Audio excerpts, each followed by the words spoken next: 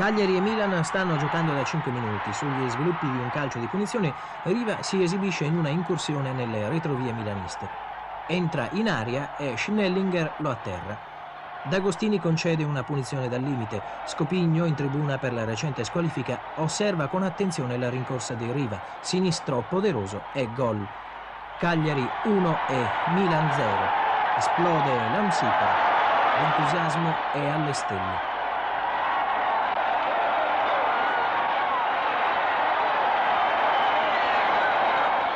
Esulta in panchina anche l'allenatore in seconda Ugo Conti.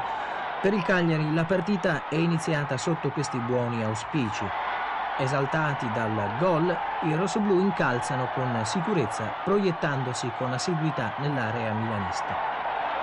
Ecco un'altra punizione di Riva a fil di palo. Rivera richiama i compagni sollecitandone l'impegno. Parte il Milan e la sua prima conclusione arriva con Rognoni. Il tiro dell'ala milanista termina sul fondo. Uno spunto di Combin, uno dei pochi del centravanti rossonero. La palla è per Lodetti. Tiro e bella parata di Albertosi. Il Cagliari contrappone, come sempre, Luigi Riva, apparso oggi in ottime condizioni. Dopo uno scambio Domenghini-Gori-Greatti, Riva tira al volo di sinistro dal centro dell'area ma fallisce il bersaglio si va al riposo col Cagliari in vantaggio per 1-0.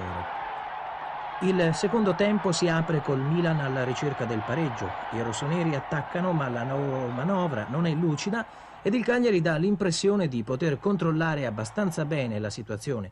Ecco un tiro di Lodetti. Contropiede del Cagliari con Gori protagonista. Il tiro del centravanti è parato da Cudicini. Lodetti organizza il Milan a centrocampo ed i rossoneri si fanno più pericolosi. Le loro manovre offensive sono sempre più frequenti e la difesa del Cagliari appare meno sicura. Ed infatti ecco arrivare il gol al ventisettesimo. Bella galoppata di Rivera, per il resto oggi in giornata negativa. Passaggio finale per Prati e palla che sorprende Albertosi. Esultano ora i milanisti. Scopigno in tribuna è preoccupato. Il Cagliari cerca di riportarsi in vantaggio, ma il gol di Prati l'ha disorientato. Le punte rossoblù, prese ormai dall'orgasmo, non faranno più centro.